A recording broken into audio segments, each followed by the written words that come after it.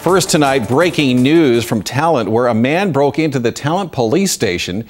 The chief happened to be there and held the suspect at gunpoint. NBC5's Roma Villavicencio joins us live at this hour with more. Roma.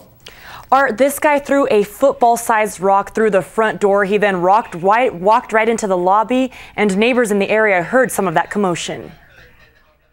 First thing we hear is some guy yelling at someone we thought was a guy and girl arguing.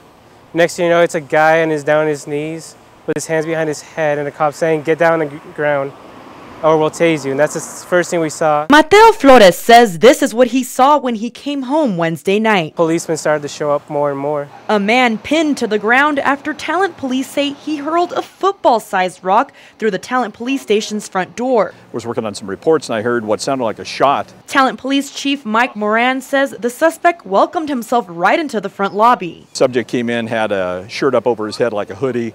Uh, he then uh, was taken at uh, gunpoint outside. He uh, presented a, uh, a challenge uh, and was not cooperating, was tased, uh, then complied somewhat, then continued to resist, but was overwhelmed uh, with the manpower at that point. Chief Moran says the suspect was not armed and luckily no one was hurt, but the chief says this is unusual and that this is a first at his station's front door. It's quite shocking, frankly.